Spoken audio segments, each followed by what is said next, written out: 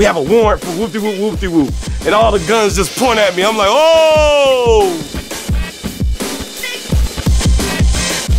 Well, I guess I gotta tell you guys the truth. So I was working with a big uh, R&B group. They used to be called, uh, they still called Jagged Edge, you know what I mean? But um, one of the members is like real close to me. So we used to be just in the street, just running around, but we all wanted to rap and he had the studio at this spot called The Corner. So one night he leaves to go do like a, a show or something somewhere.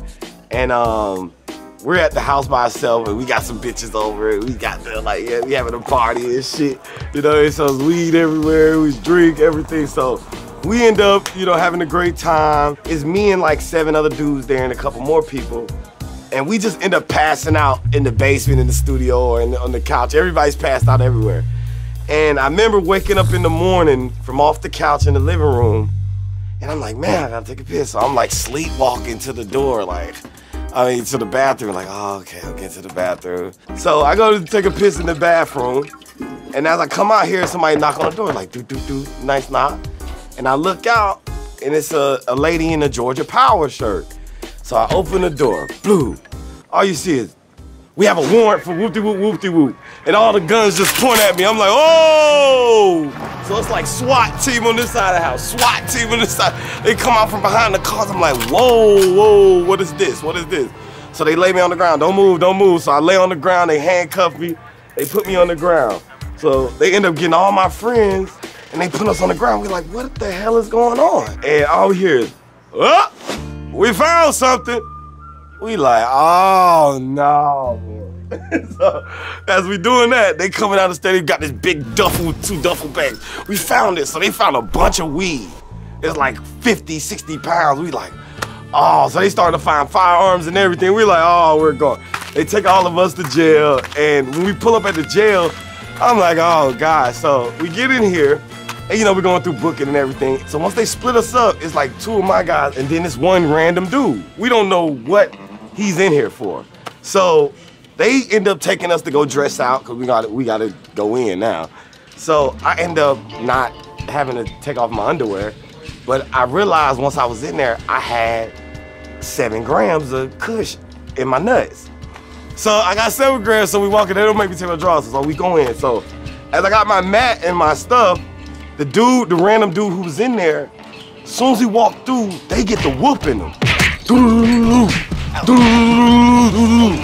I'm so scared now, cause I'm thinking this is like an initiation into this jail cell. So they whoop the boo. So they go, eh, eh, eh. I have to go back in and they have to drag him out. Then I think about five minutes they get chaos in order and they let me in. And the dude was like, yeah, man, yeah yeah, we don't we don't deal with uh, dudes who beat up their they kids or their babies. Like he dropped the baby or like some on the ground. I'm like, whoa. Soon as I get in there, the news come on. So everybody, all everybody in jail watching the news, boom, boom. And you know, the dude I'm with, he snatched the remote control, he turned it to the news. Breaking news. Six individuals was woo doo woo woo doo found with over 50 pounds of marijuana. Woo. And then they just start putting our faces up on the TV. I'm like, no, Lord, no, Lord, no, no, my picture comes up, boom. Here, you just seen all 40 inmates look like. I'm like, oh, I'm about to die. I didn't know I'm about to die. Like, I was like, oh, you the plug, bro! So everybody here like, yo, yo, bro, you rap, you woo, you woo, you rap something for us. I had a dream that I was free at last. I used to be a thief, now I'm Malik Shabazz. All my niggas shooters and they keep a mask. Everybody like, yo, these are like straight killers. This dude is incredible. On the roof. So, moral of the story, I was like, yo, these my raps just won this whole dorm of like street dudes over. So I was like, yo, I got a finishing move. Russ, I got all y'all. I pull out the silver, they was like, you're a legend.